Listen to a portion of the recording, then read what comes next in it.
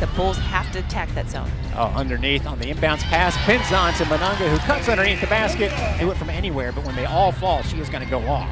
Henshaw, oh, great pass. Great one, two, three play there. Leverett on the receiving end. By the way, Clark has never made a three in her career. It's their third season. Oh, Tsineke, a great find there by Leverett, who scores again. Uh, you're talking about Arena Parral. More on her in just a second. But Bulls ball right now, and that looked much better from Brabi. Tulane coming out in a man-to-man. Interesting change by Coach Stockton. Robbie with a three. Favor of the Bulls Pinzan out to Tsineke off the inbound pass, a wide open three, and she drills it. Four players on this side of the court. There should be someone open if There they can is. find her. Mununga up to Tsineke. Had an open three, but really wasn't in rhythm. There's one in rhythm for Harvey, though. Wow, that's the second time tonight.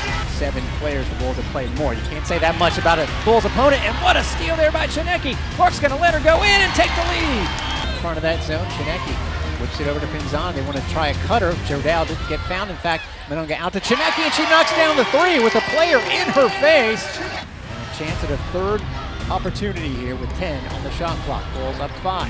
Next, that biggest lead. Great pass by Pinzan to Jordan. They do just that. Get into that one, get a whistle. Right now, Bulls have the ball out of the timeout. Harvey wide open for a three.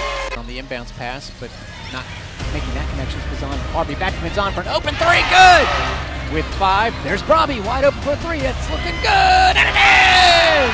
Christina Robinsova at the horn, and the Bulls equal their biggest lead. So they kind of let it go to Tsineke. Interesting there. Now she wants to drive in all the way, and she scores. Two on one. She's got Leverett, I'm sorry, two on two. Leverett up ahead. She's still going to spin and put it in. By four against this red hot Tulane team. Pinzan over to Robbie. Henshaw underneath Pinzan for an open three. Good! Elisa Pinzan, lets out a yell, even louder than mine. And the Bulls lead at 58 51.